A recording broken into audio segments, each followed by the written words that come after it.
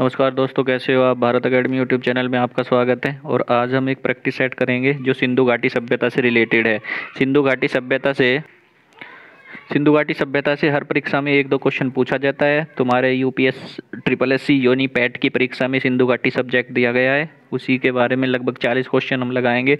देखते हैं कितने सही होते हैं। स्टार्ट करते हैं पहला क्वेश्चन से। पहला क्वेश्चन है, सिंधु घाटी सभ्यता के लोगों का मुख्य व्यवसाय क्या था? तो सिंधु घाटी के लोगों का मुख्य व्यवसाय क्या था, ये तुम्हें बताना है। पढ़ा होगा तुमने, जल्दी से आंसर देखो। ठीक है तो आंसर कर दो इसका। तो आंसर क्या है इसका? कृषि सिंधु घाटी के लोगों का मुख्य व्यवसाय क्या था? कृषि ठीक है, चलो दूसरा क्वेश्चन देखते हैं जल्दी से। सर्वप्रथम पालतू बनाए जाने वाला जानवर कौन सा था? तो सर्वप्रथम कौन सा था? कुत्ता। ठीक है? नेक्स्ट क्वेश्चन की तरफ़ बढ़ते हैं। सिंधु, सभ्यता के सबसे प्रमुख विशेषता क्या थी? तो प्रमुख विशेषता क्या थी? तो तुम्हें पता ही होगा, सिंधु सभ्यता ग्रामीण योजना नहीं थी, कैसी थी? शहरी। तो नगर नियोजन। नगर नियोजन सब क्या थी? प्रमुख विशेषता थी। दो तरीके के नगर बनते थे, एक ऊँचे, एक नीचे, जिसमें बड़े और उच्च और निम्न पद के लोग रहते थे, ठीक है? ये वहाँ की नगर नियोजन विशेष सभ्यता थी, हड़प्पा सभ्यता की। क्वेश्चन नंबर चार, सिंधु सभ्यता का मुख्य बंदरगाह कौन सा था? तो क्या था? लोथल।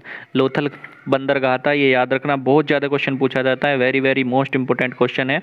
लोथल क्या था? बंदरगाह। बंदरगाह लोथल कहाँ है? गुजरात में। कहाँ पड़ता है? गुजरात में, ठीक है? गुजरात में एक क्वेश्चन और आता है कि भारत में भारत में किस स्थान पर हड़प्पा सभ्यता के सबसे ज़्यादा स्थान मिलते हैं? तो भारत में सबसे ज़्यादा कहाँ मिलते हैं? तो गुजरात में ही मिलते हैं। ये तुम्हें याद रखना है। नेक्स्ट क्वेश्चन की तरफ़ बढ़ते हैं। सिंधु घाटी सभ्यता का काल क्या है? सिंधु घाटी सभ्यता का काल क्या है? तो इसका काल है 2350 से 1750 के बीच है। ये इंपॉर्टेंट है, कई परीक्षाओं में पूछा जाता है। तो नेक्स्ट क्वेश्चन देखते हैं क्वेश्चन नंबर छः हड़प्पा किस नदी के किनारे स्थित है? तो ये क्वेश्चन बहुत इंपॉर्टेंट है, कई बार हम गलत करते हैं। हड़प्पा हमने बार बार पढ़ा, सिंधु सभ्यता तो सिंधु सभ्यता हम सिंधु ने लगे, लगा देते हैं। लेकिन क्वेश्चन नंबर छः का इम्पोर्टेंट है, हड़प्पा सब किस नदी के किनारे है? तो रावी नदी के किनारे है। ये याद रखना, हड़प्पा कौन सा है? हाँ। ठीक है। चलो रावी नदी के नेक्स्ट क्वेश्चन देखते हैं। क्वेश्चन नंबर सात मोस्ट इंपोर्टेंट है। मोहनजोदड़ो किस नदी के किनारे स्थित है? तो सातों क्वेश्चन मोहन, मोहनजोदड़ो किस नदी के किनारे स्थित है? तो मोहनजोदड़ो सिंधु नदी के किनारे स्थित है। इंपॉर्टेंट है। नेक्स्ट क्वेश्चन की तरफ़ बढ़ते हैं। क्वेश्चन नंबर सात, हड़प्पा वासी किस से अनभिज्ञ थे? यानी वो किसको नहीं जानते थे? ठीक है। तो लोहे से वो अनभिज्ञ थे। ये याद रखना कौन से से? अनभिज्ञ थे लोहे से। क्वेश्चन नंबर आठ का आंसर है लोहा। क्वेश्चन नंबर नौ की तरफ़ बढ़ते हैं। नेक्स्ट क्वेश्चन है, हड़प्पा सभ्यता की खोज किसने की थी?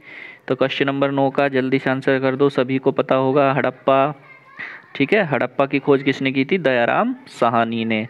दयाराम साहनी के नेतृत्व में क्या हो रही थी? खुदाई, है ना? खुदाई तो यही करने वाले थे दयाराम साहनी। हड़प्पा सभ्यता की खोज इन्होंने ही की थी, ठीक है? नेक्स्ट क्वेश्चन की तरफ़ देखते हैं। मोहन जोदड़ो की खोज किसने की थी? तो मोहन जोदड़ो की खोज किसने की थी? राखलदास बनर्जी ने। किसने की थी? राखलदास बनर्जी ने। समझ पाए होंगे? दोनों याद हैं इम्पोर्टेंट है, बहुत पूछे जाते हैं दोनों। ठीक है तो होता क्या था कि जो भारत का पुरातात्विक विभाग है ना, उसके जो अध्यक्ष थे, सर जोन मार्शल, उनके नेतृत्व में राखलदास बनर्जी और राखलदास बनर्जी और दयाराम साहनी के नेतृत्व में खुदाई चल रही थी। खुदाई चल रही थी तो खुदाई में जो सबसे पहले ये जो हड़प्पा की खुदाई कर रहे थे वो कौन थे? दयाराम साहनी। और जो मोहनजोदड़ो की खुदाई कर रहे थे वो कौन थे? राखलदास बनर्जी। तो इनके नेतृत्व में खुदाई थी तो इन्हीं के कोई खोज का वक्ता इन्हीं को रख दिया गया है कि मोहन मोहनजोदड़ो की खोज किसने की है? रखलदास बनर्जी ने। नेक्स्ट क्वेश्चन की तरफ़ पढ़ते हैं। इंपॉर्टेंट है क्वेश्चन नंबर ग्यारह। क्वेश्चन नंबर ग्यारह, हड़प्पा सभ्यता किस काल की सभ्यता है? तो सड़प हड़प्पा सभ्यता किस काल की सभ्यता, ये क्वेश्चन है, पूछा जाता है। तो यहाँ से पूरा पाषाण पाषाण का याग तो है ही नहीं है पाषाण में तो वो पत्थरों वाला है। तो कौन सी है? कांस्य युग। हड़प्पा में किसकी हुई? कांस्य युग। लोह युग तो है ही नहीं, क्योंकि लोह युग तो अभी वैदिक में होएगा, वैदिक में भी उत्तर वैदिक में होएगा। तो कांस्य युग था, क्योंकि कांसे का इसमें पता चल गया था कांसे की मूर्ति मिली थी। ऐसा तुमने पढ़ा होगा। हड़प्पा सभ्यता में सबसे पहले किस स्थल का उत्खनन हुआ? तो मैं बताना कि सबसे पहले कौन सा? तो सबसे पहले बताना कौन सा हुआ था? हड़प्पा सभ्यता। कौन सा? है ना? हड़प्पा का हुआ था। ठीक है? चलो इस बारे में बताता हूँ थोड़ा सा हड़प्पा। तो हड़प्पा की खोज अभी पढ़ा था हमने, किसने की थी? दयाराम सहानी ने। दयाराम सहानी ने और मोहनजोदड़ो की खोज की थी। राखलदास बनर्जी ने, लोथल क्या था? एक बंदरगाह है। कालीबंगा क्या है? कालीबंगा राजस्थान का एक स्थान है जहाँ से चूड़ियाँ मिली थी, ठीक है? हड़प्पा।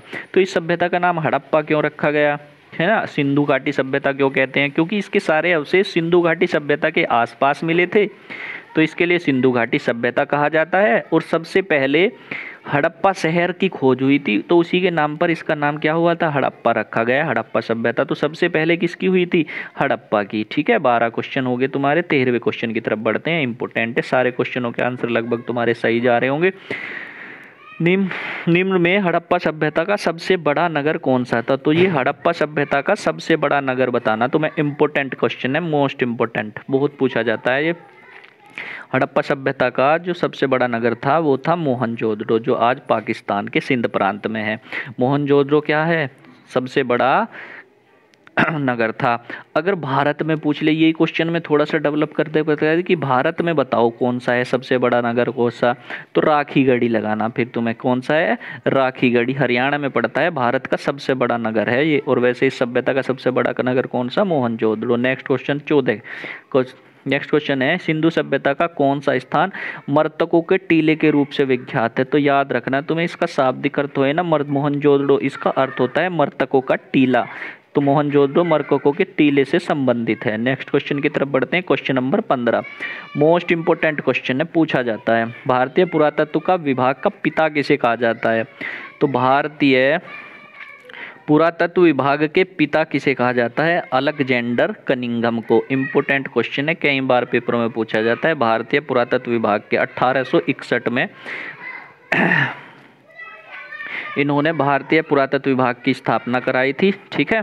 याद रखना अलेक्जेंडर कनिंगम नेक्स्ट क्वेश्चन है, सिंधु सभ्यता में नर्तकी की मूर्ति कहाँ से मिली है? तो नर्तकी की मूर्ति ही जो नृत्य करती हुई मूर्ति मिली है, वो है मोहनजोदड़ो से मिली है। कासे की नर्तकी की मूर्ति कहाँ से मिली है? मोहनजोदड़ो से।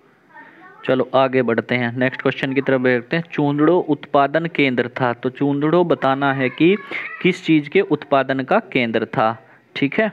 तो मन का बनाने का, ये इम्पोर्टेंट है, याद रखना, मन का बनाने का केंद्र था चोंदड़ो। नेक्स्ट है, पशुपति शिव की मोहर पर किस पशु का चित्र नहीं मिला है? तो पशुपति नाथ की जो मूर्ति मिली थी, उसमें बाघ, हिरण और भैंसा था। किसका चित्र नहीं था? तो सांड का चित्र नहीं था। ये इंपॉर्टेंट क्वेश्चन है, पूछा जाता है। नेक्स्ट क्वेश्चन की तरफ़ बढ़ते हैं क्वेश्चन नंबर उन्नीस। सुमेर से प्राप्त अभिलेख में किस देश को नाविकों का देश कहा जाता है? तो नाविकों का देश किसको कहा जाता है? मलेहुआ, मलुआ को। तो मलहुआ को नाविकों तो नेक्स्ट क्वेश्चन की तरफ़ चलते हैं। इम्पोर्टेंट है। तोलने की इकाई के रूप में सैंधव वासियों किस अंक या किसके गुणक का व्यापार किया करते थे? तो तोलने वाली इकाई में किसका? तो सोलह का। सोलह के हिसाब से हर चीज़ इनके किसके हिसाब से चलती थी? सोलह के। सोलह तो दे दे, सोलह। सोलह के बाद बत्तीस का व्यापार हो ये चौंसठ का। तो सोलह का गुणज के अनुपात में ही ये वस्तुओं को तोलह कर देते ये इंपॉर्टेंट है, याद रखना। नेक्स्ट है हिंद सिंधु सभ्यता का सबसे विशिष्ट पुरातत्व पुरावास्तु क्या है? तो सिंधु सभ्यता का सबसे पुरावास्तु क्या है?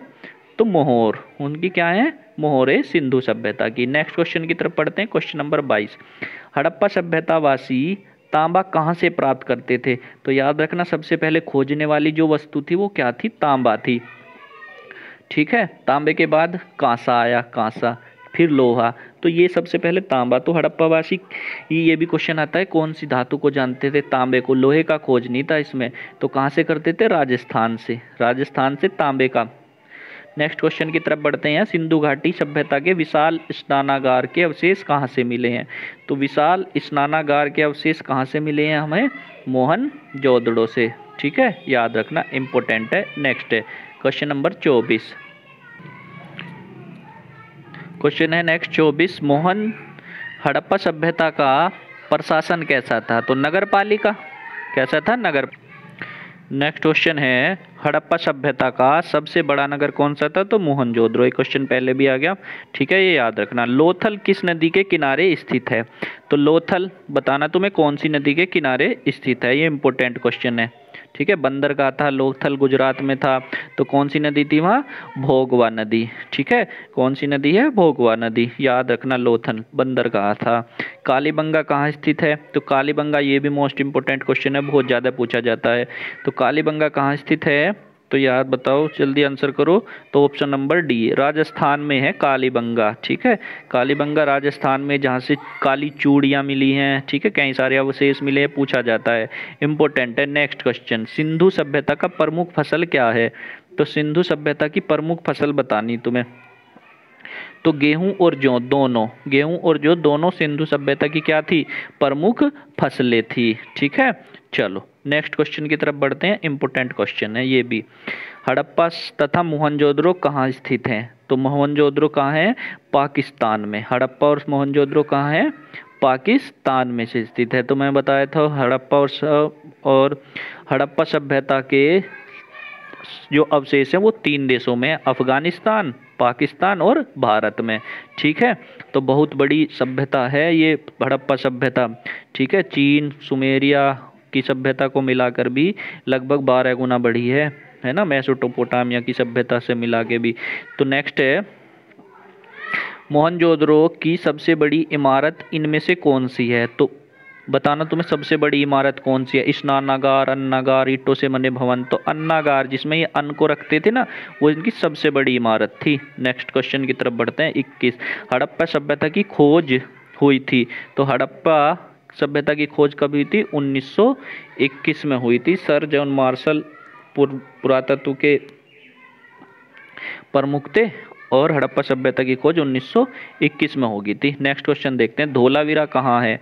धोलावीरा, बत्तीस का आंसर बताना तो मैं धोलावीरा कहाँ है? तो धोलावीरा भैया कहाँ है? गुजरात में। ठीक है? इंपॉर्टेंट क्वेश्चन है। धोलावीरा कहाँ है? गुजरात में। याद रखना। मोहनजोदड़ो की खोज कब हुई थी? 1922 में, ठीक है? तो कई बार क्वेश्चन आए 1922 में मोहन, पहले किसकी हुई थी? हड़प्पा की हुई थी। सिंधु घाटी सभ्यता का ज्ञान मिलता है। ठीक है? तो सिंधु घाटी सभ्यता का ज्ञान मिलता है। बताओ भैया, अभिलेखों से, साहित्य से, तामपत्रों से, पुरातात्विक उत्खलन से। तो कोई अभिलेख और अभिलेख भी नहीं मिलता इसका? साहित्य तो है ही नहीं। तामपत्रों का कोई मतलब नहीं है किससे? पुरातात्विक अभिलेखों से। जो खुदाई वुदाई में जो मिला, उन्हीं से इनका हमें क्या पता चला? तो सिंधु घाटी सभ्यता का ज्ञान कहाँ से मिला? पुरातात्विक अभिलेख उत्खलन से। नेक्स्ट क्वेश्चन है, हड़प्पा कालीन लोगों ने नगरों तथा घरों के विन्यास के लिए कौन सी पद्धति अपनाई थी? ठीक है? तो ये बताना तुम्हें। हड़प्पा सभ्यता के लोग मकान कैसे बनाते थे? ग्रिड पद्धति से, यानी सड़कें चतुर्भुज पर काटती थी और बीच में ये क्या बनाते थे? मकान। तो ग्रिड पद्धति इंपोर्टेंट है पूछा जाता है। छत्तीस क्वेश्चन नंबर नेक्स्ट है। ठीक है? इंपोर्टेंट क्वेश्चन है, सिंधु घाटी सभ्यता की लिपि क्या है? बताना द्रविडियन है, ब्रह्म है कौन सी हड़प्पा है? तो अभी तक कोई लिपि नहीं, पढ़ी नहीं गई। जो लिपि, जो निशान इन्होंने बनाए हुए हैं, वो लिपि आज तक पढ़ी नहीं गई है है ना? और जो लिपि पढ़ी ना जाए, जिस सभ्यता की, उसे प्राद ऐतिहासिक सभ्यता कहते हैं, ठीक है? आद ऐतिहासिक तो इम्पोर्टेंट क्वेश्चन है, ये पूछा जा सकता है। छत्तीस, सिंधु घाटी के लोगों के लिए एक महत्वपूर्ण रचना, निम्न में से किसकी मूर्ति है? ठीक है? तो नृत्य करती हुई बालिका की, ठीक है? नृत्य करती हुई बालिका की मूर्ति है, काशी की मूर्ति का है अड़तीस सिंधु घाटी सभ्यता के लोग किसमें विश्वास करते थे? तो इम्पोर्टेंट क्वेश्चन है मोस्ट इम्पोर्टेंट तो अड़तीस में बताना तुम्हें कि किसमें विश्वास करते थे? चलो मात्र शक्ति मात्र शक्ति में, ठीक है? नेक्स्ट क्वेश्चन है, सिंधु घाटी सभ्यता के लोगों की मुद्रा में निम्न देवता की चित्र अंक, आकृति चित्रित थी। तो कौन से की चित्रित आकृति थी? ठीक है। पशुपति की। ठीक है, पशुपति की इंपोर्टेंट क्वेश्चन है। नेक्स्ट देखते हैं।